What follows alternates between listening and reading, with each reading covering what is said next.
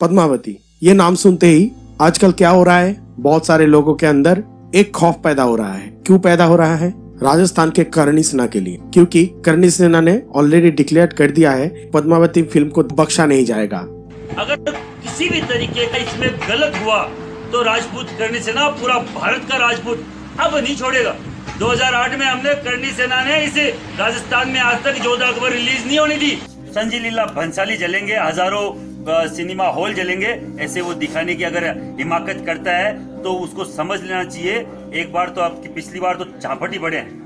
अब की बार पता ही नहीं क्या क्या पढ़ेंगे उसके समझ में नहीं आएगा। और करनी सेना जब भी संजय लीला भंसाली का नाम सुनते हैं या पद्मावती फ़िल्म का नाम सुनते हैं तो वो लोग तो ऐसे ही भड़क जाते हैं। क्योंकि वो लोगों का विश्वास है कि ये फ़िल्म राजपूत कल्चर को ठीक तरह से दिखाई नहीं गया है और गुमराह भी किया गया है। जब बदले की आग पूरा देश में फैल रहा था, पद्मावती के ट्रेलर रिलीज़ करने के बाद, सेंसर बोर्ड ने ये फ़िल्म रिलीज़ पे लगा दिया रोक। उसके बाद पाँच परिवर्तन करने के लिए बोला गया था वायकॉम 18 प्रोडक्शन वालों को। और क्या क्या परिवर्तन किया गया है, उसका रिलेटेड मैं एक वीडियो बना चुका हूँ। आप ऊपर वो आई बटन में देख सकते हैं। और वो वीडियो भी काफ़ी पॉपुलर हुआ है। लगभग हाफ़ मिलियन लोग वो देख चुके हैं। परिवर्तन के बाद कोई भी सिनेमा हॉल, गुजरात, मध्य प्रदेश और राजस्थान में ये फ़िल्म रिलीज़ करने के लिए डर रहा है, क्योंकि वो लोग सोच रहे हैं, अगर ये फ़िल्म वहाँ पर रिलीज़ होगा तो राजपूत लोग शायद वहाँ पर फिर से तोड़फोड़ कर सकते हैं। तो इसी के चलते Viacom 18 production house film release होने से पहले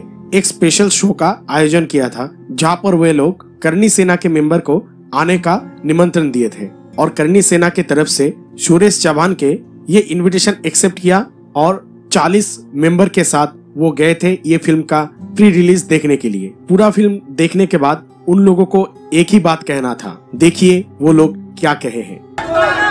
झुका भंसाली झुका भंसाली झुका भंसाली झुका भंसाली झुका भंसाली माँ पद्मावती की जय। माँ पद्मावती की जय। जय भवानी।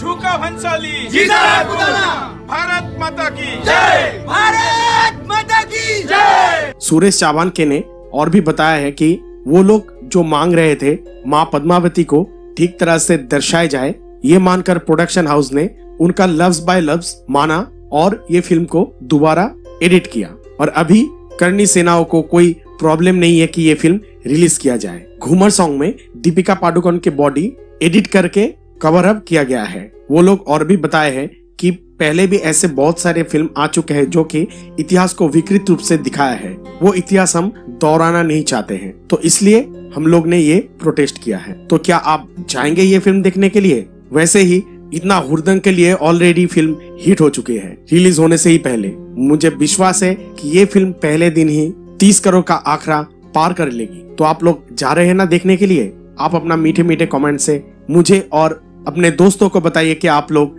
ये फ़िल्म देखना चाहेंगे या नहीं। और ये भी बताइए कि ये फ़िल्म हिट होगा या फ्लॉप होगा। मुझे इंतज़ार रहेगा आपका मीठे मीठे कमेंट का। तो दोस्तों, अगर ये वीडियो आपको अच्छा लगा है तो लाइक ज़रूर कीजिएगा। अगर बुरा लगा है तो डिसलाइक ज़रूर कीजिएगा। हम लोग गरीब आदमियों को मुफ़्त में खाना, दवाई और कपड़े देते हैं। यहाँ पे जितना ज़्यादा सब्सक्राइबर होगा, हम उतना ज़्यादा गरीब आदमी को मदद कर सकेंगे। तो आप लोगों को हाथ जोड़ के विनती है कि हमारे चैनल को सब्सक्राइब कीजिए और किसी गरीब के मुँह में हँसी लाइए।